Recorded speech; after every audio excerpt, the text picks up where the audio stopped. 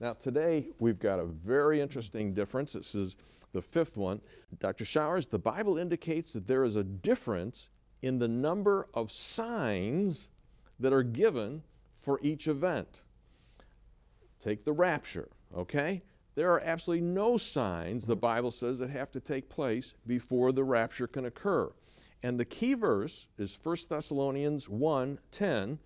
Paul says to the Thessalonians, you know, you turn to God from idols to serve the living and true God and to wait for his Son from heaven. That wait for, the Greek word is anamenein, okay, to wait up patiently for Jesus from heaven, whom he raised from the dead, and he's the one who delivers us, he rescues us from the wrath to come.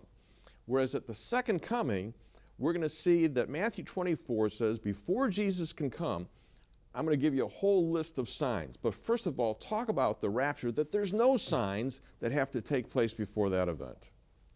Yeah, and, and that verse 2 in 1 Thessalonians, it's a Greek present tense, which means continuously. That the Thessalonian Christians uh, believed that Christ could come at any moment, so they were continuously uh, waiting, continuously waiting for him to come, which said that uh, Paul apparently had taught them you can't count on something else having to appear before Jesus comes to take you to be out of the world. Whereas by contrast, when you look at what the scriptures say, uh, what's leading up to the second coming of Christ back to planet Earth, you're going to have a revived Roman Empire formed. You're going to have a world dictator, the Antichrist, come to take control uh, of things here upon planet Earth. And you're going to have uh, wars and uh, pestilences and, and all the rest taking place before Christ comes out of heaven down to planet Earth in the second coming.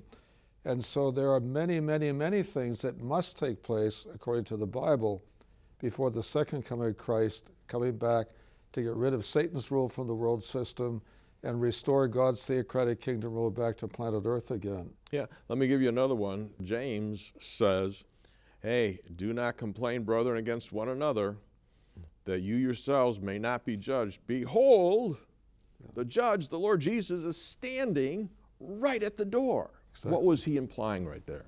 The implication he could step through that door of heaven at any moment and, and catch you up, you know, uh, from the earth. And you'd be embarrassed if you were involved in sin. Right.